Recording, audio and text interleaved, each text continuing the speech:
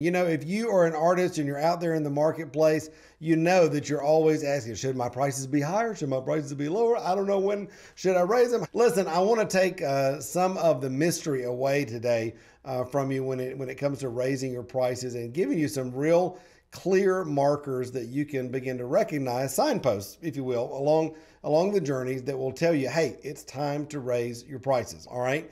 Number two, a really big telltale sign that you need to raise your prices is that you're not able to make enough money. Number one, cover your expenses. Number two, pay yourself a living wage. And number three, have enough to invest back in your business to grow.